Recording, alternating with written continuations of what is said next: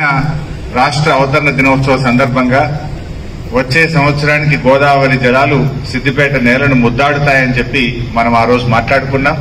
ఈ రోజు ఆ కళ సాకారమైంది. మొన్ననే అత్యంత ఎత్తైన ప్రాంతం ఆరు వందల పద్దెనిమిది మీటర్ల ఎత్తులో ఉండే కొండపోచమ్మ సాగర్కు గౌరవ ముఖ్యమంత్రి చంద్రశేఖరరావు గారి చేతుల మీదుగా గోదావరి జలాలు విడుదల చేసుకున్న విషయం కూడా మీ అందరికీ తెలుసు.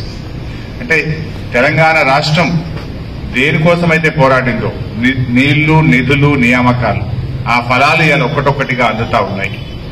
కేసీఆర్ గారి అకుంఠిత దీక్షా ఫలితం ఎన్నో పోరాటాల ఫలితం ఎంతో మంది త్యాగాల ఫలితం ఇవాళ ఈ తెలంగాణ రాష్ట్రం. ఇవాళ రాష్ట్ర అవతరణ దినోత్సవ సందర్భంగా మరి మన ముఖ్యమంత్రి గారు చేపట్టినటువంటి ఆమరణ నిరహార దీక్ష ఆ రోజు మన సిద్దిపేట వేదికగా ఉండేది. రంగదాంపల్లి చౌరస్తాలో ఇప్పుడే ఆ అమరవీరుల వేదికలో అమరవీరుల స్తూపం పక్కనే ఆ రోజు ముఖ్యమంత్రి గారి యొక్క ఆమరణ నిరాహార దీక్ష శిబిరానికి అది వేదిక. మరి ఆ రోజు ముఖ్యమంత్రి గారిని అరెస్ట్ చేయడం ఖమ్మం జైలుకు తీసుకువెళ్ళడం అయినా వారు పట్టుదలతో నిరహార దీక్ష చేసి డిసెంబర్ తొమ్మిది రెండు వేల తొమ్మిది నాడు కేంద్ర ప్రభుత్వాన్ని కదిలించి తెలంగాణ రాష్ట్రాన్ని సాధించుకున్న విషయం కూడా మనకు తెలుసు. మరి ఈ సందర్భంగా ప్రొఫెసర్ జయశంకర్ గారు మరి విద్యాసాగర్ రావు గారు అదేవిధంగా ఎంతో మంది అమరులు విద్యార్థి అమరులు యువకులు శ్రీకాంతాచారి గాని ఒక వేణుగోపాల్ రెడ్డిని వారందరినీ కూడా ఈరోజు గుర్తు చేసుకుంటా ఉన్నాం.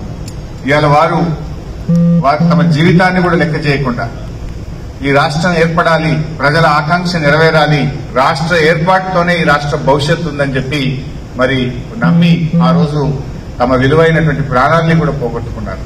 మరి వారందరికీ కూడా ఒకసారి జోహార్లు అర్పిస్తూ తప్పకుండా అమరుల ఆశయాలకు అనుగుణంగా జయశంకర్ గారి ఆశయాలకు అనుగుణంగా కేసీఆర్ గారి నాయకత్వంలో తెలంగాణ రాష్ట్రం ముందుకు పురోగమిస్తుంది.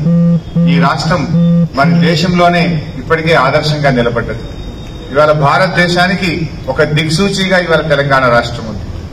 ఎవరు ఏ రాష్ట్రం కార్యక్రమం చేపట్టాలన్నా ఇవాళ తెలంగాణ వైపు చూస్తా ఉన్నారు. ఇరవై నాలుగు గంటల నాణ్యమైన ఉచిత విద్యుత్తు ఇవాళ రైతాంగానికి ఇస్తున్న ఏకైక రాష్ట్రం తెలంగాణ రాష్ట్రం. దేశంలో ప్రతి ఎకరానికి ప్రతి రైతుకు రైతు బంధు కింద పదివేల రూపాయలు ఇస్తున్న ఏకైక రాష్ట్రం ఈరోజు తెలంగాణ రాష్ట్రం.